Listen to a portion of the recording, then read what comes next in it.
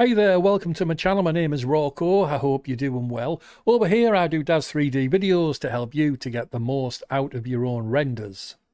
Now what we're going to actually take a look at today is something which I thought I'd covered previously. Uh, I've done other lighting things, whether that's HDRI, uh, the spotlights, point lights, and emissives. I've done all that type of stuff. The one thing that I missed at the time, and I only just realised it a couple of days back, is using the sun sky environment to light up our scene and that's what we're going to be taking a look at in this video today. Before we get on to that though, I just want to give a big shout out to those people who are the members of my channel, uh, who like to support the channel by just throwing a little bit of beer money my way every every month or so. Uh, what that allows me to do is it allows me to keep bringing the best models uh, so that you can see images of these models away from promo pics to see whether or not you want to buy them or not. So a big thank you to everybody who does support the channel in that way. And if you haven't and you fancy it, just hit the join button down below this video and you'll be able to go through the process of doing that. So a big thank you to everybody who does. Uh, and also as well, a big shout out to all my subscribers, uh, some 6,000 now I think it'll be which is crazy. When I when I started this, I didn't think I'd get anywhere near that. So a big thank you to everybody who's, who has subscribed. And if you haven't, consider it. Hit the subscribe button down below and the little notification bell so that you can get more videos like this. So we have our model over here in the scene. If I just come across to the camera we'll be using. Uh, some crazy wild woman, needs a bit of a wash. Uh, don't be concerned about the, the pose, looks a bit strange or weird where she's cutting through the it'll all become apparent as the video moves on so don't worry about that. Uh, as usual you'll be able to find all the assets to, in this scene in the description below if you want to follow along exactly. Uh, so yeah there she is all set up. Now as you can see over in our environment tab on our render we've, we've got set up there at scene only uh, which means it will only use artificial lights that's been put into the scene. So if I come across and we come to NVIDIA Iray you can see that our model is all black. She's not lit up because there's no lighting in the scene whatsoever. Uh, so we're just going to be lighting this with the sun sky environment when we get round to it.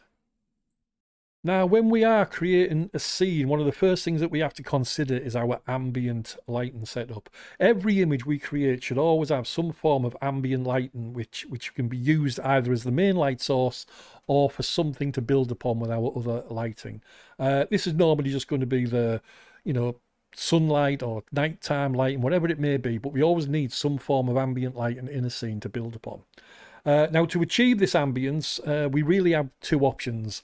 Uh, we can either use a HDRI for it, or we can use, as we are in this video, the sun sky environment. Uh, now I've covered HDRIs previously. You'll be able to find a, a link up here somewhere in the video, which you can go away and check that video out if you're not quite sure what they are.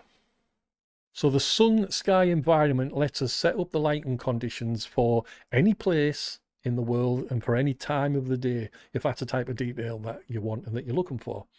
Uh, now, one advantage of using the Sun Sky over HDRI is that actual fine control over the specific lighting conditions that we want for our scene. While it's easy enough to, to light up a scene with bright sunshine with a HDRI, when it comes to specific conditions, let's say you want to set an image up at dawn or you want to do one at sunrise or even during the night, it's not so easy to source those type of HDRIs that can give you that type of lighting. Uh, but with the sun sky environment, we can set up that specific things. We can set up the exact time of the day, the exact location in the world that we are, as mentioned, so we can get the exact conditions that we're actually looking for for our scenes. There are a couple of disadvantages, which we'll touch upon later, but you know, you'll find that the sun sky environment can do just as good a job uh, as what an HDRI can do, if not in sometimes better when you're looking for those specific lighting conditions themselves. And so we need to set up uh, our sun sky environment. And to do this, we come across to our render settings over here. And then we come to the environment section there. If you don't have the environment section in there, just do a quick Iray preview or a, a, quick render and stop it straight away because Daz needs to create these two options over there before they appear in this menu over here. So once you have that there, you come into the environment and you come up to this environment mode at the top. Uh, click it down, a little menu appears and you come down to sun, sky only, give that a click and all of these little options appear for you to have a play around with. Don't worry, uh, most of them you'll probably won't use. Uh, and all I'm going to really touch on here are the ones that are the basic ones just to get things set up. Uh, and those will be dome rotation, uh, SS latitude, SS longitude, SS day, SS time, and the SS offset here. Maybe sun disk intensity as well. The rest are just cosmetic things and you can just play around with experiment with them as, as you see fit. But once we get these these basic ones set up, that's all you really need to, to go with for the sun sky environment. And we will start with the latitude and the longitude setting over here. Uh, this is your place and position on, on Earth where you want your scene to be set. So for instance, we've got uh, 5151 and 0.13 in there for the latitude and longitude. If I just come over to Google for a moment, and we can see that those numbers refer to London.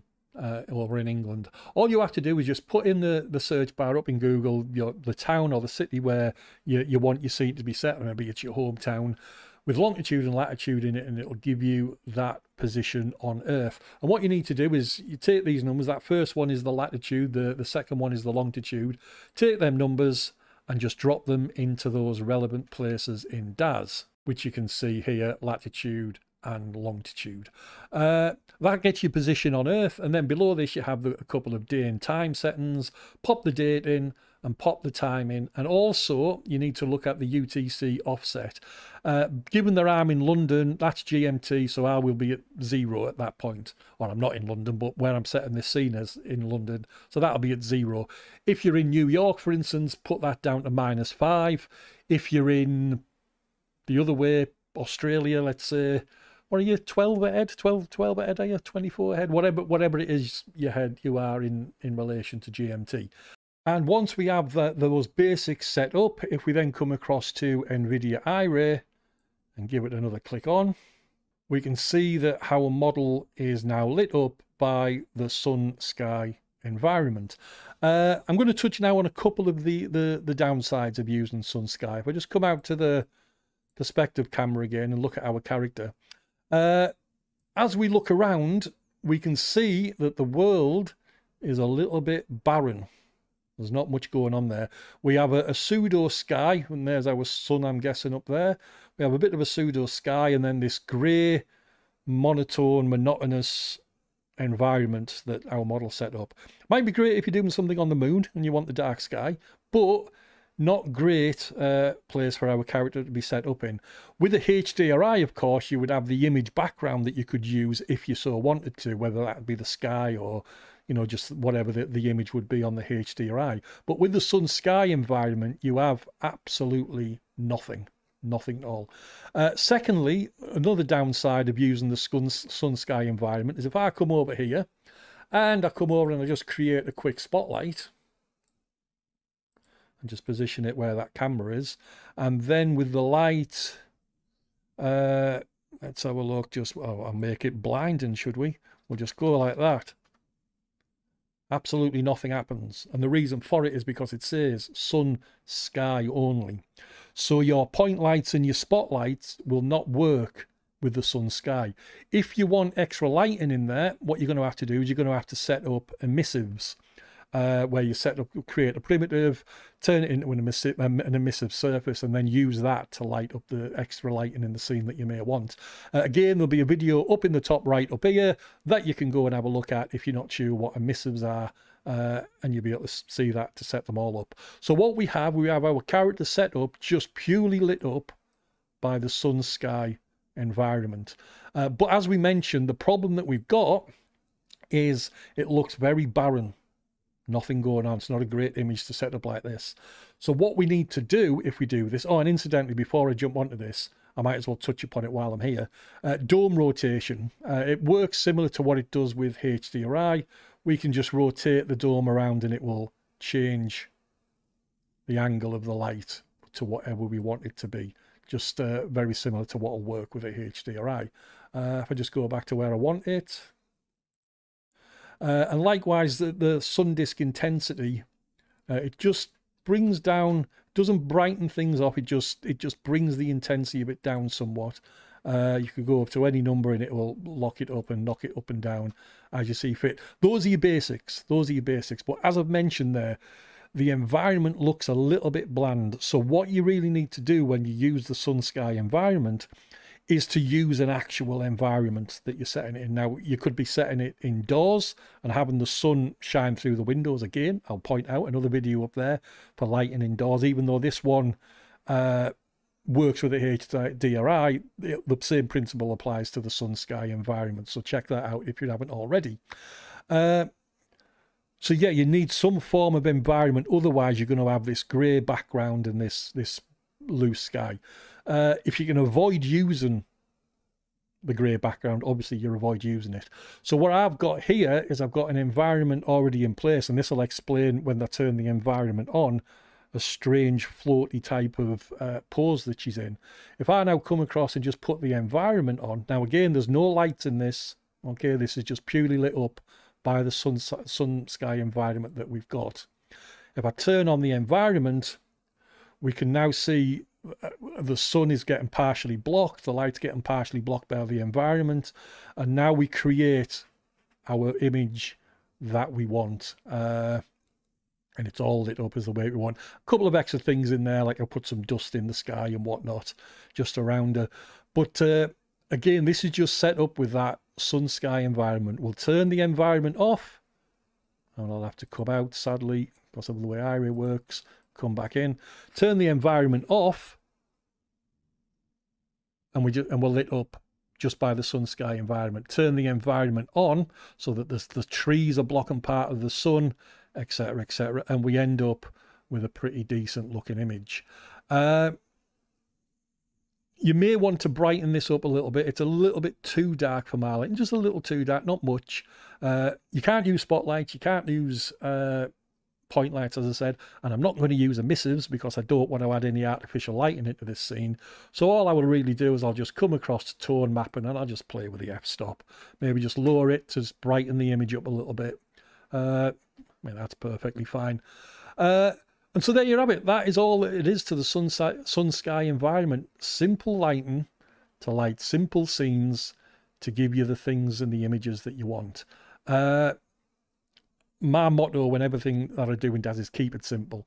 You can light up a perfectly good scene just using one one light source, the sunlight, the sun sky environment in this case. Same applies with HDRI. You don't need to add in five, ten spotlights and point lights and set up all this artificial lighting to get good images. Uh, keep it simple. Use the tools that you've got available to you, and you can get a semi-decent image uh, in next to no time. Uh, so that's it. That is the sun sky environment. Uh, there's not much more to it than that. Uh, I did mention over here that there's all these different little things you can put in. Uh, there's, you know, saturation if you want to play with this, or you can add a bit of haze into the background. That'll haze things up a little bit uh, and affect the lighting somewhere because it'll be cloud cover, I suppose that'll be. You can add a bit of tint in there if you so wish to do it. Uh, we've got now a, a, looks like a morning or a, a sunset thing. It just changed the, the, the hue of the light.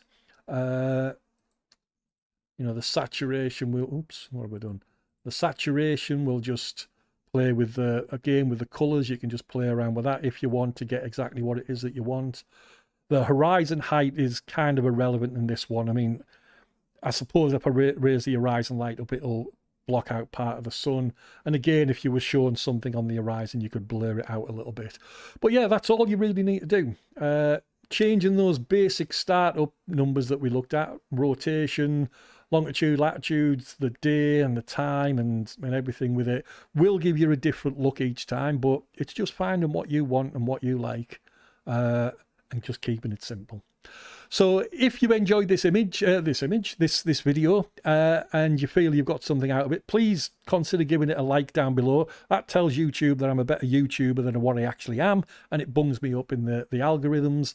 Also, as I mentioned earlier, if you haven't already, please consider joining the channel and throwing a little bit of love my way, or uh, you know, if you haven't already, subscribing, hit the little notification bell down below uh, that would be really, really appreciated. So thanks for watching. Thanks for getting to the end. Uh, if you have any questions or any comments, just drop them down below in the comment box and I'll get back to you as soon as I possibly can. And I shall see you next time.